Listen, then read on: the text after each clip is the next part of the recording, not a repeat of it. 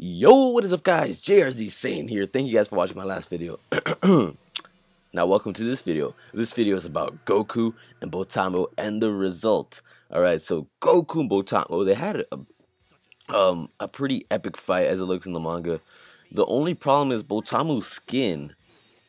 It doesn't, like, no no damage is being done to Botamo Goku's uh, you know, at first he's like playing around, then he's trying, and then he blasts Kamehameha to see how strong his skin really was. Botamo pretty much tanks the Kamehameha like Broly.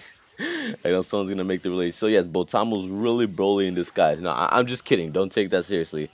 But they're having an epic fight, and everyone sees that Botamo, you know, no damage is being done to him because his skin is, is like that. So they're they're fighting right, and Goku's wondering like, how do I beat this guy because he doesn't seem to be taking any damage, and uh, he kind of pushes him, and he falls. So he Goku has an idea, right? He's like, oh shit, you know, I could just push him. And remember, there's ring outs in the tournament. So we all, you know, speculated it'd be a double knockout, double this, double that, because it'd be Frost against Piccolo in the episode, right? But that's not the case.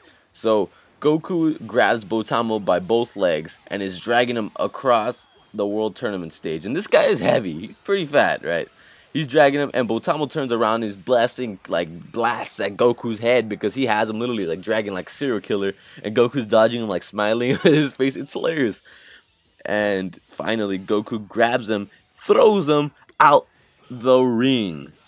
Goku wins by ring out to Botamo in the most hilarious way ever. So it was a funny fight. And then, I mean, it, it, it just has that Dragon Ball feel, you know, and it had the Dragon Ball Z action in it, at least in the manga. We'll see in, in the actual anime, but I cannot wait, guys, for this to be shown in the anime because this is crazy. I mean, Goku vs. Botamo, Goku comes out victorious, and in the most hilarious way possible. You wouldn't have imagined it any other way from both characters and the way the oh, Botamo the way he looks and Goku just the way he is. I mean, he's a hilarious character, one of the fun, if not the funniest guy in, in Dragon Ball, right?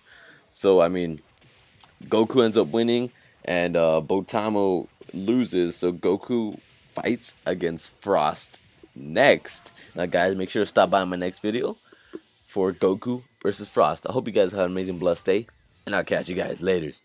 Peace.